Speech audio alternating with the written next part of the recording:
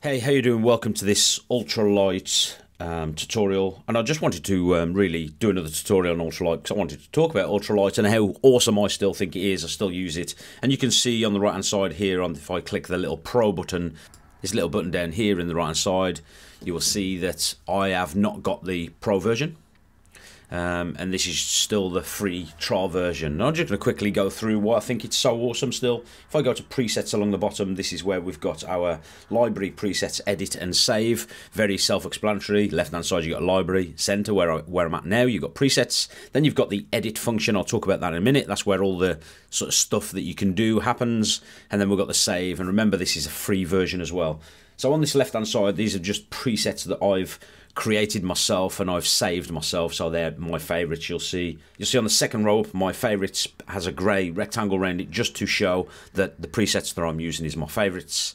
And then the next one along is nature. My nature's already active but my favorites always stay where they are. We can just go along and select any of the presets and then if you want to edit the intensity of the presets the slider just above you just increase, slide your finger, increase or decrease. I'm using this on iPad, by the way, so it's got an awesome iPad app, as you can see, and the phone app is just as good. And then we've got, you know, just different presets as we go along. Here we've got the portrait presets, and you can see at the bottom portrait one, two, three, obviously relevant for portraits.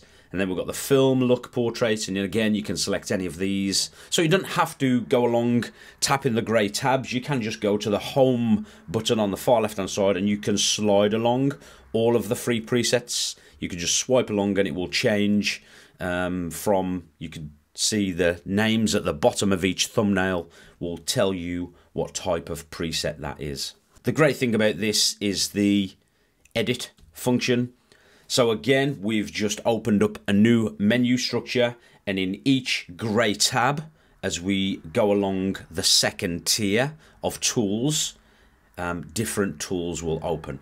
The first being the sliders, the black shadows, midtones, highlights and whites. And we can just slide up and down to change these. And let me just make some um, adjustments as we go along. And then next along we can go to the saturation and the warmth and coolness or the temperature of the image. And you can see left hand side um, it's got temperature. So if we want to go make it more blue we go up to the left hand side. If we want to make it more warm go up to the right hand side. But if we want to sort of focus on saturation we go up or down and then um, desaturate left or right desaturate warm right but down so you get this type of feel.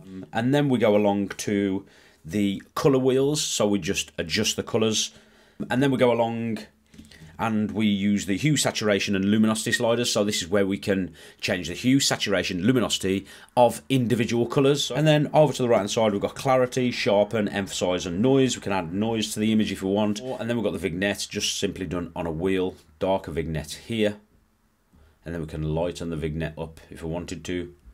This sort of area. And then now we've got what we've got is these overlays. So we can just add overlays to and it just adds a nice overlay and we increase the intensity or decrease the intensity with this little slider on the right hand side. And there's lots of different overlays that you can add over here on this left hand side you see we've got this exclusion and all this exclusion is is just the blending mode and it just says exclusion because that's where we're at at the moment. That's the blending mode that we're using at the moment okay? Rush on the right hand side.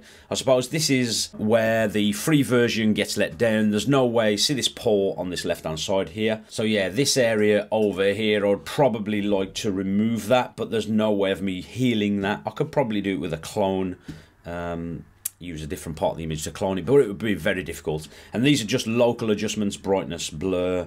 Um, you know, I can I can essentially choose a, an area of the image and just blur that part of the um, part of the image out. So I just made the shadows a bit blurrier, and that's okay. Let me click apply, and then likewise clone shadows, highlights, smoothen, and these are a lot a lot of um, a lot of portrait enhancements. You know, if you wanted to um, add a glow to the face increase the, the whiteness of the teeth and smoothen the um, the contours of the skin and all of that. That's all of that stuff is there, and then you can crop the image to the size that you wanted. So if it was for an insta crop, you could um, crop it like so. I suppose the only other two things to point out are the two grey arrows at the bottom where you can undo or redo your previous or your last actions. Um, and then the only th final thing to point out is the save button at the bottom right hand side and you can just save over so it saves over the image in your library. You can add borders to this as well if you want to before you export it, square, story, portrait, landscape. So yeah, there you go. This is me just bumping the Ultralight app again because I think it's an awesome app for free.